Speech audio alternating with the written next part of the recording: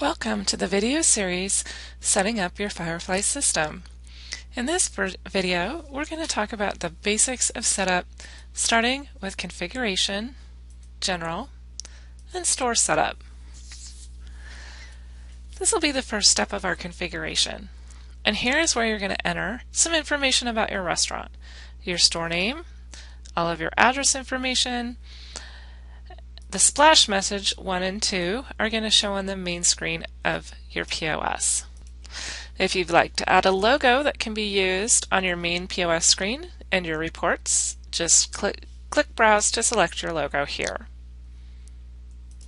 We've got a couple different graphical templates, which you can see in the template preview. This will affect how the colors and graphics look on your system. The options down here let you control how your ticket numbering works. Typically you're just going to start at 1 and reset daily, but you can also choose to go continuously until you get to a ticket number. Some of these optional features such as subtotals, enabling internet functions, we recommend that you keep on. The rest of these you might want to leave off until you're ready to use. Now it's time to set your hours. We want to specify what your start of week is. This is important for your payroll calculation purposes and other graphs and charts that will start on this day. It defaults to Monday, but you can select a different day to, and set that instead. For each day of the week, go ahead and set your hours.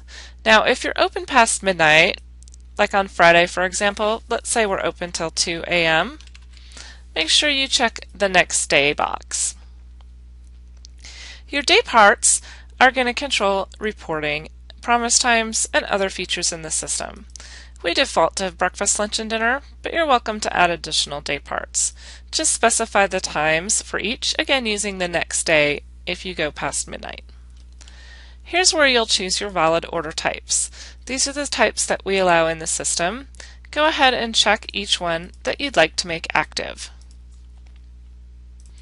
The station licensing below you don't need to worry about as that'll be set up for you. Let's talk for a minute about your email configuration. We recommend the easiest way to set this up is to just use a Gmail address. If you don't have one, you can register one for free for your restaurant. This will just be used for the, e the POS system to send you email alerts. Once you've selected the Gmail address, you can just enter your username and password for your account and then come up with your mailing name. So let's say this is my pizza place from Fire, Firefly POS, and then you'll, you'll enter your username and password here. This way the system will be able to send you mail. Okay, a couple other quick things on this screen. The HQ setup you only need to use if you're running our HQ multi-store reporting software. The store format this lets you get into some detailed options, such as your area code phone number format if you're not uh, using a traditional US-based 10-digit phone number, and whether you want to enforce that length. You can also control your currency symbol, um, the date format that you'd like to use, and whether you want your weather in Fahrenheit or centigrade. I'm going to skip the address format for now because we'll have a different video that goes into that in more depth. Finally on this screen is a remit to address.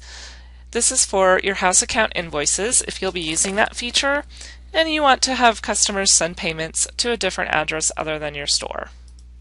That's it. Now you can save changes on, on this screen and you're ready to go.